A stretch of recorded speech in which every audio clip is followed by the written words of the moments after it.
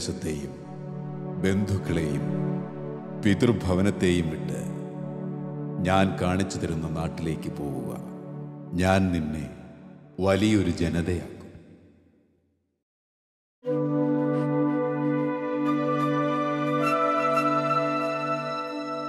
മലബാർ കുടിയേറ്റത്തിന്റെ ഓർമ്മകൾ ഉറങ്ങാത്ത മണ്ണ്.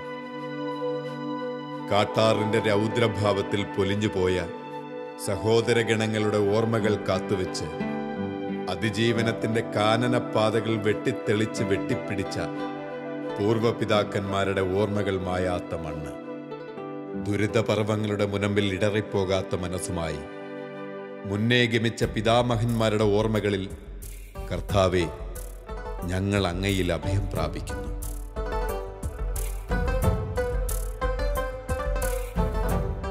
കഷ്ടദുരിത കാലങ്ങൾക്കൊടുവിൽ ആത്മീയ ഉണർവിന്റെ ആലയമൊരുക്കി തേജസ്സാർന്ന ആത്മീയ നവ്യാനുഭവം പകർന്നതിന്. ഈ അമ്മയുടെ പുഞ്ചിരി കൊണ്ട് കുരിശിന്റെ പ്രഭ ചുരിഞ്ഞ് ഈ നാടിനെ അഭിവൃദ്ധിപ്പെടുത്തുന്നതിന്. നന്ദി അമ്മേ. അനുദിനം നമ്മെ കാത്തുപരിപാലിക്കുന്ന യേശുവിനെ സ്തുതിച്ചുകൊണ്ട്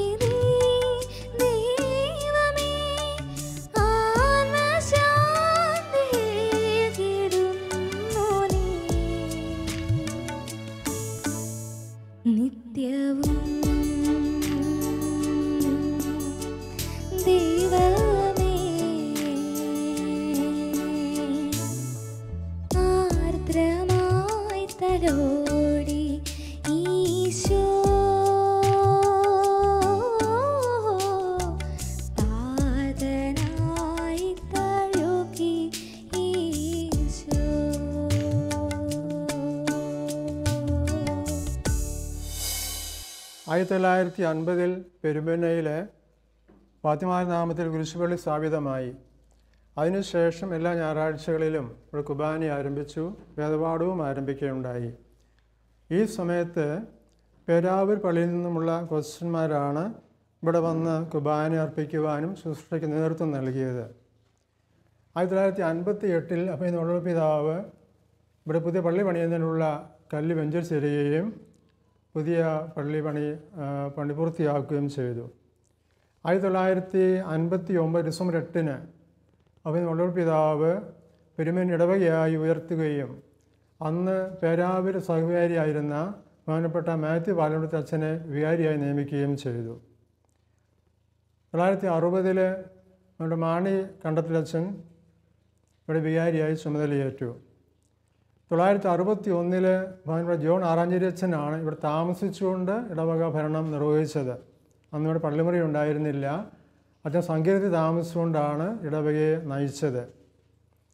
തുടർന്ന് വികാരിയായിട്ട് ഫാദർ ജോസഫ് ആരക്കൽ വന്നു ആയിരത്തി തൊള്ളായിരത്തി അറുപത്തി അഞ്ചിലാണ് ബഹുമാനപ്പെട്ട അബ്രഹാം മൂങ്ങാമാക്കൽ അച്ഛൻ വികാരിയായി നിയമിതനാകുന്നത്.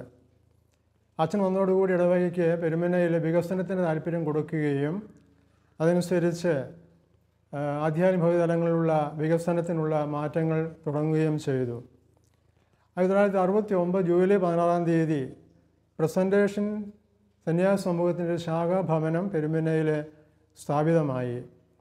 Daughters of presentation of Mary in the temple എന്ന ഈ സന്യാസ സമൂഹത്തിന്റെ ശാഖയാണ് പ്രവർത്തനം ആരംഭിച്ചത്. ഈ പ്രദേശത്തുള്ള ആളുകളുടെ ചികിത്സാ സൗകര്യം പരിഗണിച്ചുകൊണ്ട് ജാതി മതഭേദമന്യേ എല്ലാവരും സഹകരിച്ച് പതിമൂന്ന് ഏക്കർ സ്ഥലം വാങ്ങിച്ചു നൽകുകയുണ്ടായി തുടർന്ന് ആയിരത്തി തൊള്ളായിരത്തി എഴുപത്തി രണ്ടിൽ സെന്റ് മേരീസ് ഡിസ്പ ഡിസ്പെൻസറി അവിടെ പ്രവർത്തനം ആരംഭിച്ചു. സൺഡേ സ്കൂളിന്റെ കെട്ടിടം ഈ അവസരത്തിൽ പണിയുകയും ചെയ്തു. പെരുമിന ഇടത്തൊട്ടി റോഡും പെരുമിന മുരിങ്ങോട് റോഡും വീതി കൂട്ടി സൗകര്യ ഗതാഗത സൗകര്യമാക്കി തീർത്തു. ആയിരത്തി തൊള്ളായിരത്തി എഴുപതിലാണ് ഫാദർ ജേക്ക് പുത്തമ്പരച്ചൻ വികാരിയായി ചുമതലയേൽക്കുന്നത്. അച്ഛന്റെ കാലത്ത് സെന്റ് മേരീസ് എഴുപത്തിരണ്ടിലാണ് സെന്റ് മേരീസ് ഡിസ്പെൻസറി ഇവിടെ ആരംഭിക്കുന്നത്. ആ കാലത്ത് തന്നെയാണ് മാതൃവേദിയുടെ പ്രവർത്തനങ്ങളും ഇടവകയിലെ പ്രവർത്തനം ആരംഭിച്ചത്. അനീതിക്കും അക്രമത്തിനും എതിരായി പ്രതികരിക്കുകയും സത്യത്തിനായി നിലകൊള്ളുകയും ചെയ്ത വിശുദ്ധ സ്നാപക യോഹനാന്റെ ജീവിതപദം ഒരു മോണാക്ടിന്റെ രൂപത്തിൽ ഇതാ. നമസ്കാരം. യൂതയ മരുഭൂമി. അവിടെ ഒട്ടകരോമം കൊണ്ടുള്ള വസ്ത്രം ധരിക്കുകയും വെട്ടുക്കിളികളും കാട്ടുതേനും ഭക്ഷണമായി കഴിക്കുകയും ചെയ്യുന്ന ഒരാൾ. ഞാൻ അവതരിപ്പിക്കട്ടെ? അയക്കപ്പെട്ടവൻ. അടുത്തു വരുവിൻ. അകന്നു മാറി നിൽക്കാതെ അടുത്തു വരുവിൻ. ഗുരു എനിക്ക് ജ്ഞാന സ്നാനം സ്വീകരിക്കണം. നല്ലത്. മകനെ ഈ ജലത്തിലേക്ക് ഇറങ്ങി മിഴികൾ അടച്ച് ദൈവത്തോട് മാപ്പിരക്കൂ യഹോവേ ഈ പുത്രനിൽ കനിയൂ. മകനെ നീ എന്തോ പറയാനിരിക്കുന്നത് പോലെ? ഗുരു അത് ധാരാളം ചെയ്യും യഹൂദ പ്രമാണികളും നമുക്കെതിരാണ്. അവരിൽ നിന്ന് ധാരാളം പേർ ഞാൻ സ്നാനം സ്വീകരിക്കുന്നത് അവർക്ക് ഇഷ്ടമാകുന്നില്ല ഇഷ്ടമാകുന്നില്ല പോലും. അണലി സന്തതികളെ ആസന്നമായ ക്രോധത്തിൽ നിന്നും ഓടി അകലുവിൻ. വൃക്ഷങ്ങൾക്ക് കോടാലി വെക്കപ്പെട്ടിരിക്കുന്നു. മാനസാന്തരപ്പെടുവിൻ. എന്തൊരു ഗാംഭീര്യമാണ് അവന്റെ വാക്കുകൾക്ക്. ആരെയും ആകർഷിക്കുന്ന വാക്കുകൾ. ഒരു തരത്തിൽ പറഞ്ഞ നമ്മൾ പാപത്തിലല്ലേ? ഹേയ് ഏതാണ് സുന്ദരൻ? എന്തൊരു തേജസ് അവന്റെ മുഖത്ത്. ഞാൻ അങ്ങിൽ നിന്ന്. ഇപ്പോൾ ഞാൻ പറയുന്നത് ചെയ്യുക. എനിക്ക് ഞാൻ സ്നാനം സ്വീകരിക്കണം.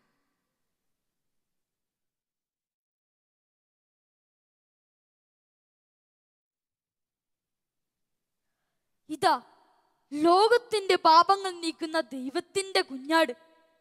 ഞാൻ കണ്ടു പരിശുദ്ധാത്മാവിവന്റെ മേൽ ഇറങ്ങി വരുന്നത് സ്വർഗം തുറക്കപ്പെടുന്നത്. ഓ യഹോവേ. രാജ്യത്തിന്റെ അനാചാരങ്ങൾക്കെതിരായി അവൻ ശബ്ദമുയർത്തി. ഹെറോദേസ് രാജാവിനെതിരായി പരസ്യമായി അവൻ പ്രതികരിച്ചു. നല്ല രാജാവാണ് പോലും. സഹോദര ഭാര്യയെ സ്വന്തമാക്കിയ നീചൻ. പിന്നെ എങ്ങനെയാ നല്ല ഭരണാധികാരിയാകുന്നത്? പിന്നെയല്ലേ നാടിനെ നന്നാക്കാൻ ഇറങ്ങിയിരിക്കുന്നു. ഇത്രയേറെ സാമൂഹ്യ തിന്മകൾക്കെതിരെ പ്രതികരിച്ച യോഹനാനെ ഹെറോദേസ് തടവിലാക്കി. എങ്കിലും ഹെറോദേസ് യോഹനാനെ ഭയപ്പെട്ടു.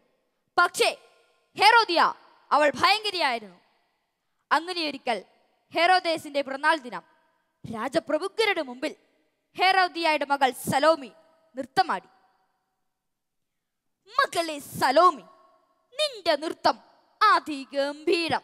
നമ്മുടെ മനസ്സും ശരീരവും ആകെയൊന്ന് കുളിർന്നു. നീ പറ നീ പറയുന്നത് എന്തും ഞാൻ തരാം. എന്റെ രാജ്യത്തിന്റെ പകുതിയെങ്കിൽ അത് അല്ലെങ്കിൽ മറ്റെന്തെങ്കിലും എടുത്തുകൊള്ളുക. ഞാൻ അമ്മയോട് ചോദിച്ചിട്ട് വരാം. കണ്ടില്ലേ? മാതാവിനെ അനുസരിക്കുന്നവളാണ്. അമ്മ പറയുന്നതിനപ്പുറം അവൾ ഒന്നും ചെയ്യുകയില്ല. അതുകൊണ്ട് അവളിൽ തെറ്റില്ല. അത് എനിക്ക് നിനക്ക് മടിക്കാതെ പറഞ്ഞുകൊള്ളുക. യോഹന്നാന്റെ ശിരസ് അതി യോഹന്നാന്റെ ശിരസ് ഒരു തളികയിൽ വെച്ച് എനിക്ക് കൊണ്ടുത്തരൂ. മകളെ സലോമി കൊണ്ടത്തരുവാൻ ഭാവമല്ലെങ്കിൽ ഈ രാജപ്രമുഖർ അങ്ങേക്ക് വിലയിടും. ആരെവിടെ കൊണ്ടുവരൂ യോഹനാന്റെ ശിരസ് അതെ പ്രിയമുള്ളവരെ സത്യത്തിനായി ജീവിച്ചതുകൊണ്ടാണ് യോഹനാന് തന്റെ ജീവൻ നഷ്ടമായത്. നമുക്കും വിശുദ്ധ സ്നാപക യോഹനാനെ പോലെ സത്യത്തിനായി ജീവിക്കാം. നന്ദി. ആയിരത്തി തൊള്ളായിരത്തി എഴുപത്തി ആറ് ജൂൺ മാസം ഒന്നാം തീയതി അന്നത്തെ പെരുമ്പുന്ന വികാരിയായിരുന്ന ബഹുമാനപ്പെട്ട ജോസ് കാപ്പിലച്ചന്റെ നേതൃത്വത്തിലാണ് Perumpunna saint Mary's U P school ആരംഭിച്ചത്. എഴുപത്തി ആറിൽ ആറ് ഏഴ് ഡിവിഷനുകൾ മാത്രമേ സ്റ്റാൻഡേർഡുകൾ മാത്രമേ ഉണ്ടായിരുന്നുള്ളൂ. തൊട്ടടുത്ത വർഷം അതായത് ആയിരത്തി തൊള്ളായിരത്തി എഴുപത്തിയേഴ് എഴുപത്തെട്ട് കാലഘട്ടത്തിൽ അഞ്ചാം ക്ലാസ് കൂടി ആരംഭിച്ചതോടെ ഇതൊരു പൂർണ യു പി സ്കൂളായി. ഇപ്പോൾ അഞ്ച് ആറ് ഏഴ് പിന്നെ മൂന്ന് സ്റ്റാൻഡേർഡുകളായി ഓരോ ഡിവിഷൻ മാത്രമേ ഇപ്പം നിലവിലുള്ളൂ. ഇപ്പോൾ ഈ സ്കൂൾ തലശ്ശേരി അതിരൂപത കോർപ്പറേറ്റ് എഡ്യൂക്കേഷണൽ ഏജൻസിയുടെ കീഴിലാണ് പ്രവർത്തിച്ചു വരുന്നത്. ഇപ്പോൾ കോർപ്പറേറ്റ് മാനേജർ ബഹുമാനപ്പെട്ട ജെയ്സൺ ചെല്ലങ്കോട്ടച്ചനാണ് അതേപോലെ തന്നെ പ്രാദേശികമായി ഇതിന്റെ മാനേജർ പെരുമുന്ന പള്ളി വികാരിയായ ജോസ് പൗവത്തിലച്ചനാണ് ഈ സ്കൂൾ തുടക്കം മുതലേ തന്നെ ഈ കുട്ടികളുടെ കുറവ് എന്നുള്ള ഒരു വലിയ പ്രശ്നം ഉണ്ടായിരുന്നു. എന്നാൽ അതായത് രണ്ടായിരത്തി ഒമ്പത് പത്ത് കാലഘട്ടം പത്ത് പതിനൊന്ന് കാലഘട്ടങ്ങളിൽ നൂറ്റി നാൽപ്പത്തി നാലോളം കുട്ടികളും അഞ്ച് ഡിവിഷൻസും ഉണ്ടായി. ഏഴ് ഹെഡ്മാഷ് ഉൾപ്പെടെ ഏഴ് അധ്യാപകരുണ്ടായിരുന്നു. എന്നാൽ അതിനുശേഷം വീണ്ടും കുട്ടികളുടെ എണ്ണം കുറഞ്ഞ് കുറയുകയും ഇപ്പോൾ ഈ ഒരു വർഷം ഈ അധ്യയന വർഷത്തിൽ കഴിഞ്ഞ അധ്യയന വർഷത്തിൽ അമ്പത്തി അഞ്ച് കുട്ടികളും ഈ അധ്യയന വർഷത്തിൽ അറുപത്തൊന്ന് കുട്ടികളുമാണുള്ളത്. അപ്പോൾ പ്രഥമ ഈ സ്ഥാപനത്തിന്റെ പ്രഥമ head master Srimathi Thresiamma C P ആയിരുന്നു. അതിനുശേഷം ഇരുപത്തിരണ്ട് ഹെഡ് മാസ്റ്റർമാർ ഈ സ്കൂളിനെ നയിച്ചു. ഞാൻ ഈ സ്കൂളിലെ ദീർഘകാലം ഹെഡ് ആയിരുന്ന ശ്രീമതി ശൈലജ സി പി രണ്ടായിരത്തി പതിനാല് മാർച്ച് മുപ്പത്തൊന്നിന് വിരമിച്ചപ്പോൾ രണ്ടായിരത്തി പതിനാല് ഏപ്രിൽ മാസം ഒന്നാം തീയതിയാണ് ഈ സ്കൂളിന്റെ ഇരുപത്തി മൂന്നാമത്തെ ഹെഡ് മാസ്റ്ററായിട്ട് ഞാൻ ചാർജ് എടുക്കുന്നത്. ഇപ്പോൾ ഞാൻ ഹെഡ് ആയതിന് ശേഷം ഇത് മൂന്നാമത്തെ അധ്യയന വർഷമാണ്. ഇപ്പോൾ സ്കൂളിന്റെ പ്രവർത്തനങ്ങൾ വളരെ നല്ല നിലയിൽ പോകുന്നുണ്ട്. കുട്ടികൾക്ക് കലാപരമായ കാര്യങ്ങളിലും പഠന കാര്യങ്ങളിലും ഒക്കെ വളരെ നല്ല പരിശീലനമാണ് നൽകുന്നത്.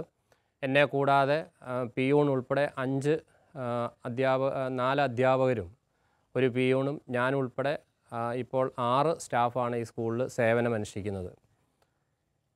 പഠന കാര്യങ്ങളോടൊപ്പം തന്നെ നമ്മൾ പാഠ്യേതര കാര്യങ്ങളിലും കലാപരമായ കാര്യങ്ങളിലും ഒത്തിരി പരിശീലനം കൊടുക്കുന്നുണ്ട്.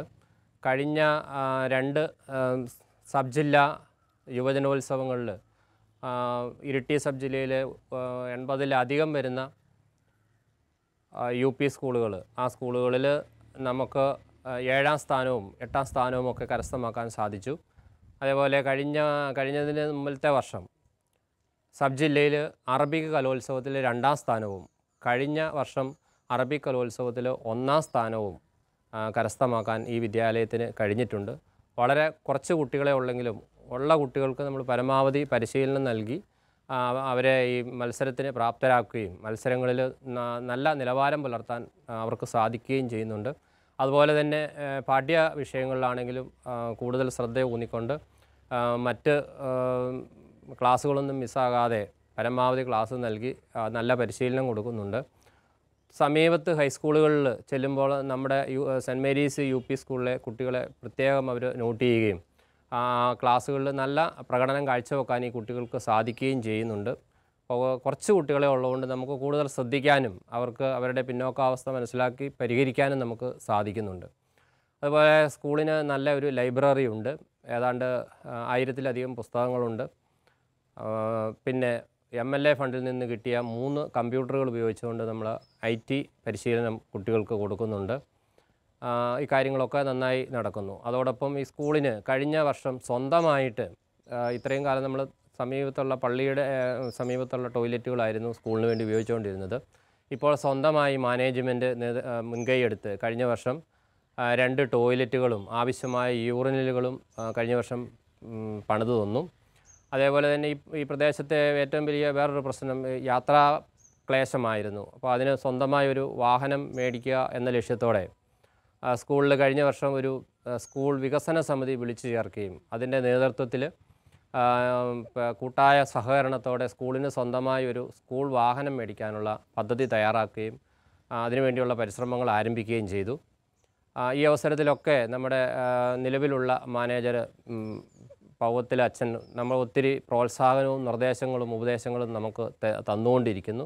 അച്ഛന്റെ ഈ ഉപദേശങ്ങളും നിർദ്ദേശങ്ങളും സ്കൂളിന്റെ ആരോഗ്യകരമായ മുന്നോട്ടുള്ള പ്രയാണത്തെ വളരെയധികം സഹായിക്കുന്നുണ്ട്. അപ്പോൾ ഏതായാലും കഴിഞ്ഞ ഒരു അതായത് ഡിസംബർ മുതൽ ഇങ്ങോട്ടുള്ള കാലയളവിൽ ഞങ്ങളുടെ കൂട്ടായ പരിശ്രമം അതായത് രക്ഷകർത്താക്കളുടെയും നാട്ടുകാരുടെയും ഒക്കെ സഹകരണത്തോടെ വീട് വീടാന്തരം കയറി പിരിവെടുത്ത് ഫണ്ട് ശേഖരിക്കുകയും അങ്ങനെ കൂടാതെ ഏകദേശം നാലേകാൽ ലക്ഷം രൂപയോളം തലശ്ശേരി കോർപ്പറേറ്റ് മാനേജ്മെന്റ് തരികയും ഇടവകയിൽ നിന്ന് ഇരുപത്തയ്യായിരം രൂപ തരികയും ബാക്കി അധ്യാപകർ കുറേ ഒരു ഒന്നേകാൽ ലക്ഷം രൂപയോളം ലോൺ എടുത്തും ബാക്കി പൊതുജനങ്ങളിൽ നിന്ന് പിരിവിലൂടെ സമാഹരിച്ചും ഒരു എട്ടര ലക്ഷം രൂപ മുടക്കി സ്കൂളിന് സ്വന്തമായി ഒരു സ്കൂൾ വാഹനം ഈ ജൂൺ മാസം പതിനാലാം തീയതി ആയപ്പോഴത്തേനും ഞങ്ങൾക്ക് എടുക്കാൻ സാധിച്ചു. എല്ലാവരുടെയും സഹകരണം നാട്ടുകാരുടെയും പള്ളിയും അച്ഛന്റെയും അതുപോലെ മറ്റ് മാനേജ്മെന്റിന്റെ ഭാഗത്തു നിന്നുമൊക്കെ ഉള്ള ഒത്തിരി നിർലോഭമായ നിസ്സീമമായ സഹകരണം ഈ ഒരു സംരംഭത്തിന്റെ വിജയത്തിന് ഞങ്ങളെ സഹായിച്ചിട്ടുണ്ട്. നിലവിൽ ഇപ്പം കുട്ടികളെ സമീപ പ്രദേശത്തു നിന്ന് ഈ വാഹനം ഉപയോഗിച്ചുകൊണ്ടാണ് കുട്ടികളെ കൊണ്ടുവരുന്നത്. ബാല്യത്തിൽ തന്നെ കൊഴിഞ്ഞുപോയ കുരുന്നുകളുടെ നൊമ്പരങ്ങളും അവർക്ക് നഷ്ടമായ മാതൃവാത്സല്യവും ഒരു നാടോടി നൃത്ത അവതരണത്തിലൂടെ ഒരു കൊച്ചുകുട്ടി ഇതാ നമുക്ക് മുന്നിൽ.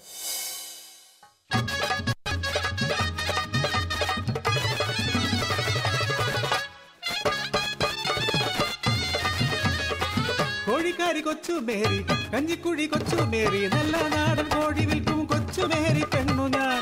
നാടൻ കോഴി മുട്ട വേണോ നല്ല കോഴി കുഞ്ഞു വേണോ ഇറച്ചിക്കാണേൽ മാത്രം തരുകയില്ല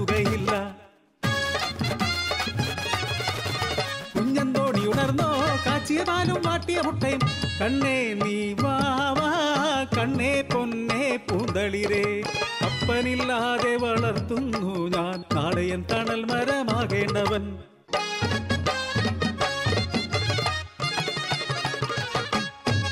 മഹാവികൃതിയാണ് ചെറുക്കൻ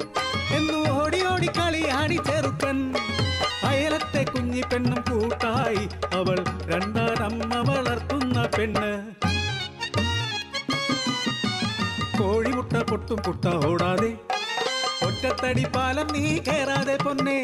ആ പാലത്തിൽ നിന്നങ്ങു വീണാലോ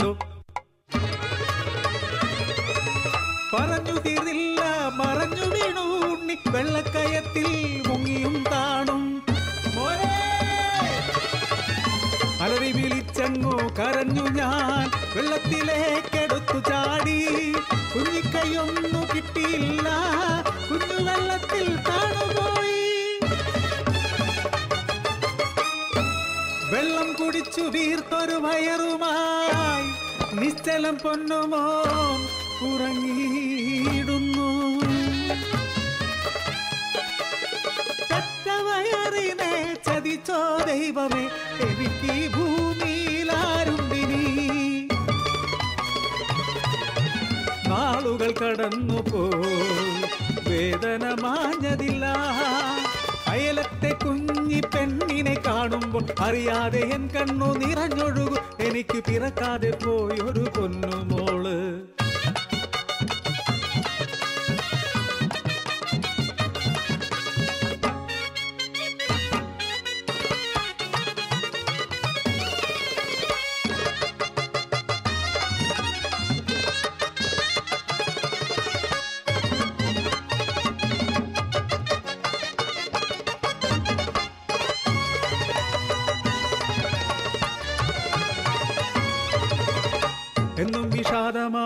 കുഞ്ഞുമുഖത്ത് ഓടിയെത്തും. ഒരു നാൾ കാലിലെ മുറിപ്പാടു കാണവേ ആരെയോ നീട്ടെന്ന പോലെ അവൾ വഴുതി വീണതാണെന്നു ചൊല്ലി. ഒരു നാൾ ആ കുഞ്ഞു നിലവിളി കേട്ട് ഞാനാ ജാലകവാതിലൂടെ നോക്കി രണ്ടാനമ്മയും അച്ഛനും ചേർന്ന് കുഞ്ഞിനെ ക്രൂരമായി വർദ്ധിക്കുന്നു പിഞ്ചിളം മേലിയെ പൊള്ളിക്കുന്നു. ദേഹം മുഴുവൻ പഴുത്ത മുറിപ്പാടുകൾ. ഭീകര ശബ്ദം പോലെയാ രണ്ടാനമ്മ എന്റെ നേർക്കു വന്നു. നിനക്കിവിടെ എന്ത് കാര്യം? ചൂടുവെള്ളമെന്നേ കൊഴിച്ചു. ഉറക്കമില്ലാതെ ഞാൻ ഉണർന്നിരിക്കവേ. പെട്ടെന്ന് കുഞ്ഞിൻ കരച്ചിൽ കേട്ട് ഞാനങ്ങോട്ട്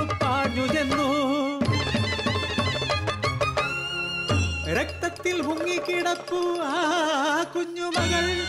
ഒരു തുള്ളി വെള്ളവും കിട്ടാതെ ബിന്ദു വരണ്ട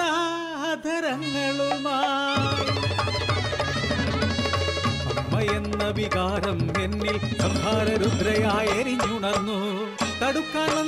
മാതാപിതാക്കളെ തള്ളി മാറ്റി ഞാൻ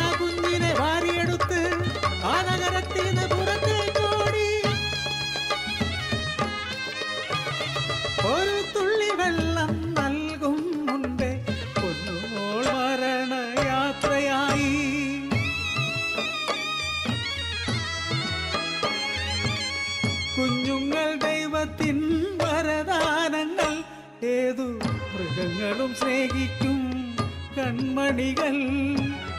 കഴിയുവതെങ്ങിനെ കുഞ്ഞിനെ കൊല്ലുവാൻ മനസാക്ഷിയില്ലാത്ത മാതാപിതാക്കളെ ജന്മസാഫല്യങ്ങൾ. പെറ്റമ്മയാകിലും പോറ്റമ്മയാകിലും കുഞ്ഞിനെ സ്നേഹമായി വളർത്തിയിടണം. കുഞ്ഞിനെ സ്നേഹമായി വളർത്തിയിടണം. കുഞ്ഞിനെ സ്നേഹമായി വളർത്തിയിടണം